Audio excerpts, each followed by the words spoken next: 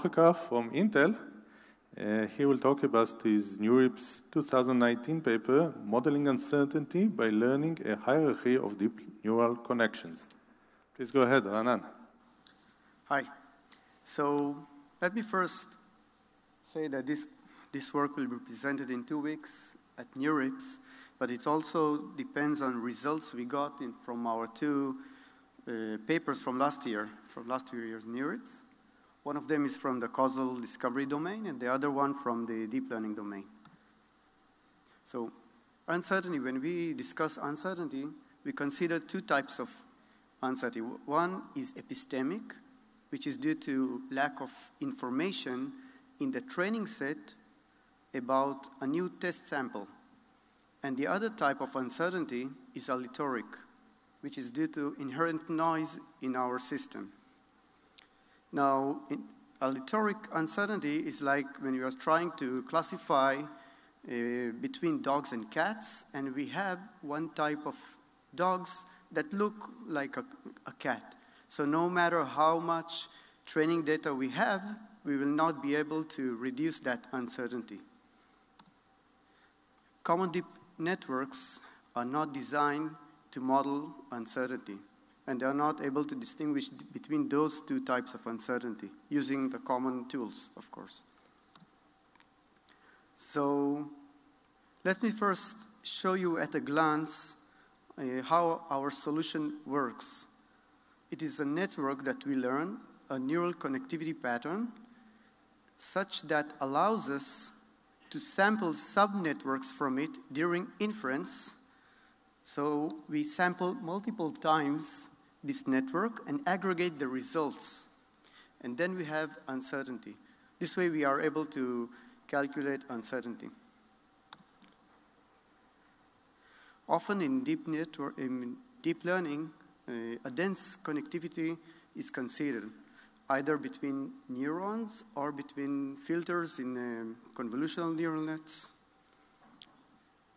And one may ask, is there a sparse neural structure that is good as much without sacrificing accuracy or calibration or other properties?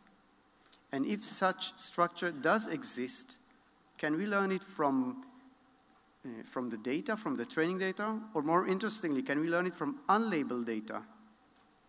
And, we are, and if we are able to learn it from data, can we also encode the uncertainty into the structure, into the connectivity between neurons.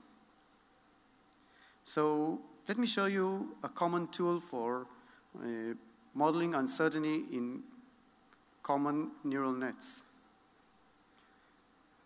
These are Bayesian neural nets where we want to integrate out the weights but we have to know the posterior distribution of the weights given the training data. Here, x and y are the training data. This is intractable usually, so we, we use the Bayes rule and set some prior or assume some kind of a prior. Usually, and this is a, an important point here, usually this prior is selected to be agnostic to the input x even though we can condition it on X. And then this, uh, some uh, variation lower bound is maximized. You can see that in this variation lower bound, the prior can be viewed as a regularizer. So why aren't we conditioning uh, the, the, the, weights on the input data? You can see this is a um, causal diagram describing the assumptions, the common assumption. And our assumption is that there is a confounding arc between X, the unlabeled input data, and our weights. But what is the meaning of this confounding arc? What, what, it's not very intuitive. How can we condition the discriminative function on unlabeled data? It's, it's not very trivial. So first, we assume that there is some kind of a generative process for the data, and there is some kind of a structure. For that, we use a causal discovery algorithm where we discover or identify the causal relations among X, the input data, and then we showed in our last year's NeurIPS paper that we can construct, according to these causal relations, a deep neural structure. We also showed that this neural structure can be used as a discriminative structure. It means that this G, the graph, the connectivity can both serve as a generative process and also as the structure of a discriminative structure.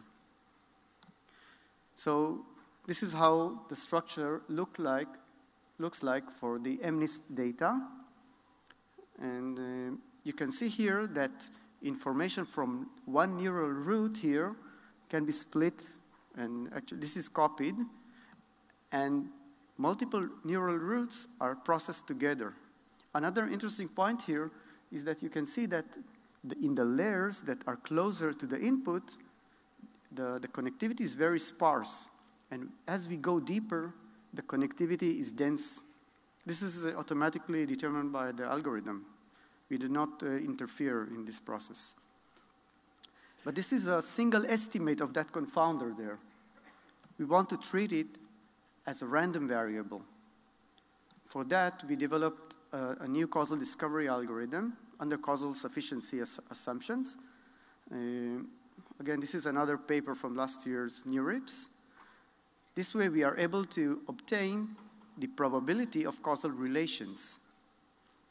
And from these causal relations, we were, we were able to learn a hierarchy of neural connections. Hi this hierarchy actually couples together a lot of neural, um, neural nets jointly and efficiently. But uh, let me show you again how it looks like. It's too difficult to show it in 2D. So this is a visualization of that. Uh, the leaves here actually look only at a subset of the input. It means that we process each subset of the input independently and differently. And the, the deepest layer there is the, actually here it's the softmax, so it's actually, can be viewed as a two layer. During inference, as I discussed earlier, we can sample subsets of this network. And each sampled network actually corresponds to a, a causal diagram over the input X. And these are sampled uh, proportionally to the uh, conditional, uh, proportional to their posterior given the data, the input. Now, this hierarchy, you can ask how many uniqueness, unique structures are there? Maybe all those structures are the same. They have the same connectivity. So we check that, and you can see this is for MNIST, and we saw that for small data sets, we have a larger number of unique structures. And this is the point over there. And it means that we have a broader prior over the network parameters, the discriminative network param parameters for small data sets. And, and this is automatically determined. And for large data sets, it converges to some uh, number. It can be viewed as an aleatoric uncertainty. It means that there is some fixed number of networks that needs to be in the ensemble, cannot be decreased. Okay, this is another experiment where we show we can identify the or calculate efficiently the epistemic uncertainty. The bottom row are images generated by VAE, which have low epistemic uncertainty, in contrast to the upper row, which don't look like uh, digits, MNIST digits. We compared ourselves to multiple benchmarks here, uh, MC Dropout and others. And we show that uh, an important, one important thing, uh, from that hierarchy, only 10% of the network is sampled each inference, in contrast to MC Dropout, where usually 50% or more is sampled.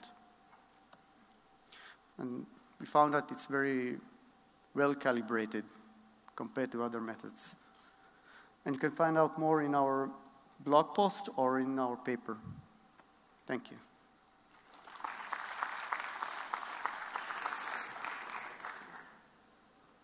Alan. Uh, thank you, Ra'anan. Any quick question? So let's thank the speaker again. Thank you.